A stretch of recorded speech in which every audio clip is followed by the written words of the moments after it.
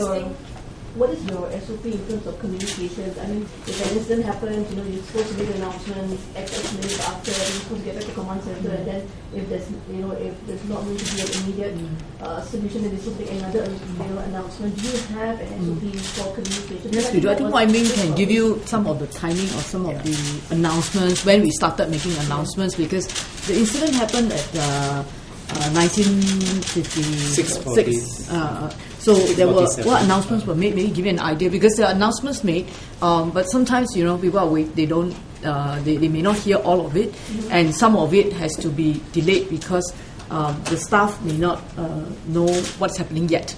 Because even you are quite blind to the situation in the initial minutes, uh, because you wouldn't expect the, tri- rail to be down, you don't expect the shoes to be out, you don't know that's the situation. What we can see at that point is just the system has frozen and four trains are stalled. So maybe you can say what are the statements? Some some statements we make is to let them know we are aware of things. We are trying to investigate how long it takes. But really, uh, sometimes it's difficult to tell the actual, actual, timing on the ground for the. We will try to as fast as possible to let a train officer know about this timing. But really, we also have difficulty to tell them exactly because on the ground, the recovery team are working equally hard to get the thing out. So we must see which one we can give the information. Sometimes the information can may not be so accurate, and that also we are concerned. So sometimes we have uh, under uh, informed, and and we, we also uh, felt uneasy about telling somebody too optimistic when we are not sure. Although we think this is a typical timing. But, um, but you could have put out an announcement to sort of tell people to remain calm and you know be trying to get help and then it, it's like I said, then you won't have people smashing windows mm. and stuff like that. I think it's mm. really fear of the unknown. Like, how long are you going to be stuck here? Right. You know, it'll be for a few we, hours. We, so we agree. We, we, we, agree with you. I think we have put some, some may not be sufficient. Mm-hmm. Um, I think the major part that not just people in the train itself, but just outside waiting for the trains that they didn't know what was happening. The mm communication aside, they feel that the staff on the ground could have been telling them, okay, trains are not working, go and find, there are alternatives, but a lot of them were not told. So, I mean, mm. in that sense, does communication, will the way people communicate on the ground will have to change? Will that change and will it change from a more top-down approach? Because at some point, the staff didn't know anything at all. Mm. Can you give a breakdown of the timeline, communication-wise, both internally among the staff and also externally to, to mm. public. what time, what time the HQ was alerted, mm. what time you all alerted the staff of other stations, and then mm. you sent out the first. I think you have the timing on the first yeah. announcements and all that. Uh, uh, I think this one. This uh, uh, the one, the one. I think all the announcements. Maybe you can explain this one. Uh, as early for the train, we take example for a train uh, that was stuck in uh, Orchard, as early as uh, 1857, as early as 1857, announcements was already made. As 1857, we already make uh, some announcement. Uh, sorry, um, sir, can you just repeat that, please? At, at, uh, for a train at uh, Orchard, as early as 1857, we have already uh, tried to make announcement in the, that, for the particular train. But as, as the um, some of them may not have uh, heard the announcement, but some of them actually uh, heard the announcement on this portion here. We at about 1916, we keep on telling passengers announcement, even like uh, keep away from the doors in case uh, we want to open and all these things. So actually, we actually did uh, make some announcements. But I said it may not be sufficient for a person uh, uh, over there to be comfortable about. But in the announcement, yes, we did make a, try our best to make as much announcement as we can in the stations, in the stations, the stations at the station itself, we make announcement. From our control center, we also, once we have information, also make announcement to all the stations. You know, at certain time of the uh, yesterday's incident, we did close some stations. We also make intense announcement about this kind of uh, closing. I must say that we didn't, we, there are room for uh, discussion about uh, this communication thing, but with the resources we have, we have uh, tried to optimize as much as we can. The staff on the ground also spent time to answer to a lot of queries. That's make the ground staff unable to really um, continuously uh, make announcements. I just want to uh, during these things that happen, any of you guys were on the ground to really meet the, the passengers and everything? Yes, My director, yes, my yes, of course. You know, all down. Yeah. As it's at one of the complex stations that is uh, at City Hall. The director of train ops was actually down there on the ground. Okay, can I can I just elaborate on what my minister explained? eh?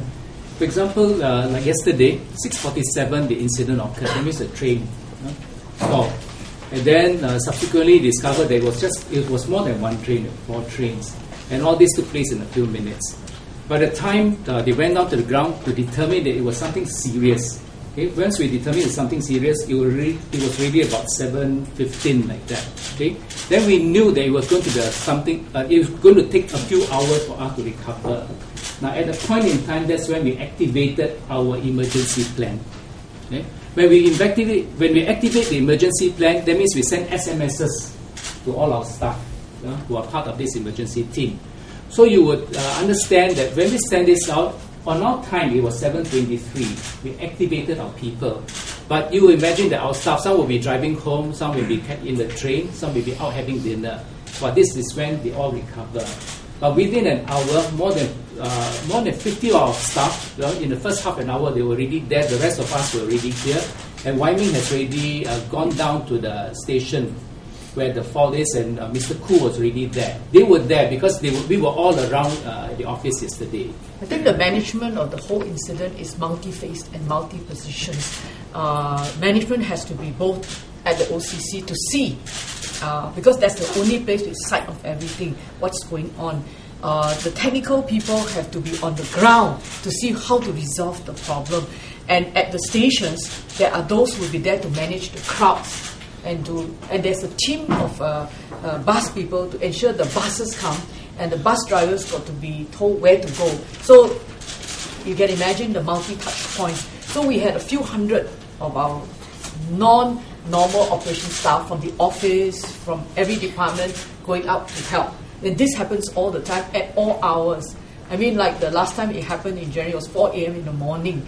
Uh, I, I was on a taxi going around and making sure that the stations were best managed and the signs was up just to make sure things were okay. So it doesn't matter. Even yesterday was, you know, it happened was six something. But I can tell you, even the wee hours of the morning, everybody just drops tools and goes.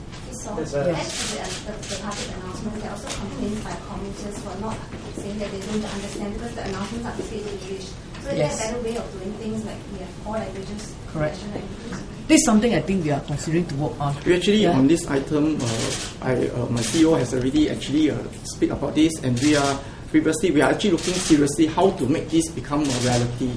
Uh, we must understand that There's talks for so long. Um, No, the, the problem number one is that I think uh, uh, first and foremost, I mean they are very used to making sure we have the good announcements that go out, and one of the things that not all our train drivers can speak Mandarin. We have many non-Chinese train drivers as well. So to have a Mandarin uh, speaking train driver, and at that time, uh, when this incident was down, uh, in the trains, the only communication was from the largely from the train driver. so what's the follow-up now? Will, you up? Yeah, I think we will want to do pre. Uh, pre-recorded Yeah. messages of. Uh, but you must understand the situation is very uh, volatile. Even if we pre-record certain messages, it may be actually misleading and for certain situations. We are carrying out some small scale uh, on these things. And we find some difficulty in it. We are trying to find ways to overcome it. Given the seriousness of the disruptions for the last two days, there have been calls from the members of the public for senior executives at SMRT to take responsibility and resign. Is there a course of action that any of you are considering, especially the CEO? well, it is something that I would seriously consider if that is a necessity to do so. But I think I will reserve comment at this moment. So can I just find out, you know, with regard to the whole contingency plans, will you like consider special things to better improve, you know, management, you know, like let's say put in like uh, on standby torchlights, you know, blankets or whatever, you know, like what London system, you know, they have, you know, during winter when the when the trains break down, they have like In this area, if there is a, a good suggestions that we, we can we will look into it. But practically, we think the way forward is to uh, move the train quickly to the stations, and uh, that's an area that we are trying to see how best we can do about it. To put other things into the stations in our tropical environment may not be very practical, but if there's any good suggestions, we, we will look into it. How about All in these terms of SOP, when, when was the last time that you changed when you revise this SOP, it mm-hmm. This- has to be revised periodically, right? Yes. So when was the last time that the revision We do it all the time. We do it all the time. When was the last time? months. In months, every every year we do review all the SOPs several times a year, and it is being reviewed even after every incident again to see where there were gaps. So the previous one was one month ago? No, know, about I would say about three four months ago at least. You know.